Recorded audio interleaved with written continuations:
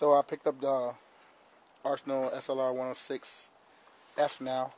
Um, this is the one with the uh, the brake on the front. Um, it's a little longer than the CR that I have, but not not by a lot. I'm probably going to keep this gun stock and keep it to, I guess, uh, how it was originally set up. Um, I'm not sure about that, but uh, it doesn't have the rail, but it does have the folding stock, which it signifies DF on it.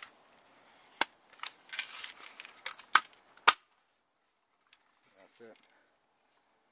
Um, this is going to be a two-part video. This is kind of like one of my, I think, impulse buys because of just all the hype about the band and not being able to have certain things.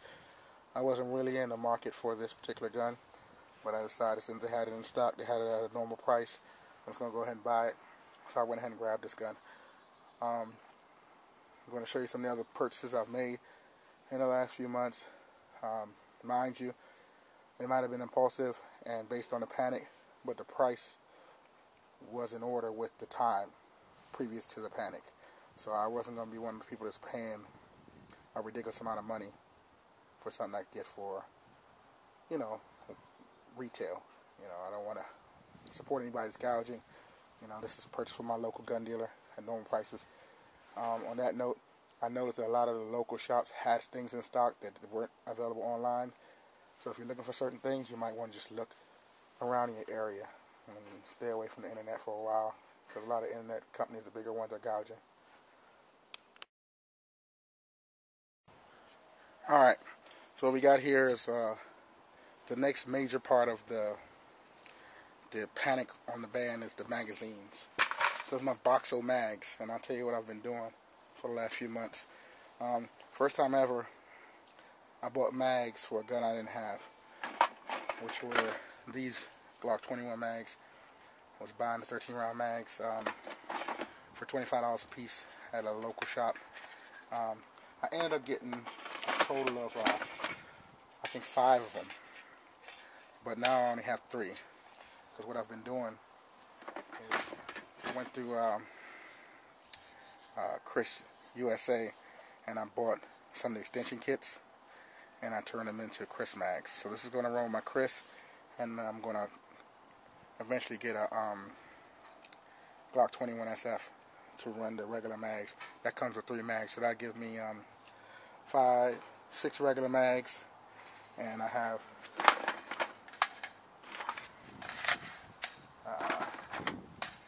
four of the um, 30 rounders for the for the Vector. Probably try to get a couple more of the Vectors before October. That's our timeline over here in Maryland for our band. That has nothing to do with the Feinstein band. See what happens with that. But I'm going to try and get at least two more of these um, before October. Since I got the um, SLR, and now I have two AKs and 5.56, I've been trying to add on to the mags, which is kind of hard to find, but not that bad. Found a company in North Carolina, uh, Frontline. They had a, uh, these are pretty much regular price.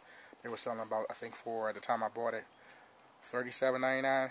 So I ordered uh, uh, four of them. I already had uh, three, so it brought me up to a total of seven uh, SLR mags for the um, 5.56 caliber.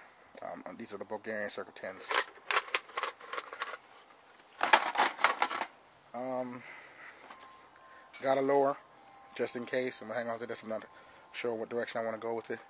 Might get an SBR so I could uh, just do a Form 1 and use it for my uh, AAC Blackout 12 and a half inch upper. Just make that just a uh, a gun and complete gun. Haha! Came across some window PMags, some Gen um, uh, Gen uh, 2 uh, M2s. I think it's Gen 2. Whatever. I'm not big on the gens, which one I know what Gen 4s look like, but um, it doesn't have the covers, so I'm thinking it's a Gen 2. Um, anyway, I got three of them. Um, these are the window one. As you guys know, I've always had a plentiful amount of USGI mags, so I still have that. but I also came by a deal at a gun show, and I was able to buy the kind with the um, USGI new style uh, followers. I got eight of these for fifty dollars. Pretty good deal. What else I have in here? Um, I only have four of these uh, VZ58 mags, so I'm looking to get about at least four more if I can um, before anything happens. And my Galil mags, I think I have, um, I think I have four or five of these, so I would like a couple more um, for this, because these are, they're pretty expensive, they're hard to find, um, what's out there is pretty much what's out there. And I'm not going to be on GunBroker buying any mags, so I gotta find it locally or at a gun show at a reasonable rate. Uh, last thing, MSAR STG 556 mags. I only have a few of these. They they were expensive up front. They were $48 or something like that for each. Um, so if I could find them for around that price, $50, maybe 55 I'll, I'll probably still buy it. Um, just because they're kind of hard to find. And um, I've been seeing them on GunBroker at a ridiculous rate. So if I could find them for $50 each, I'll buy a few more just to have on hand. Um, so to wrap it up for the whole hype and hysteria that's going on right now, I really haven't been making any videos regarding it. Um, just shop locally. Um, the, the hardest thing to find right now is a decent amount of ammo. The Walmarts and places like that, they all have like limits. So if you're going to get three boxes of uh, 5.56 or 223, you're only looking at having 60 rounds, and that doesn't help a lot.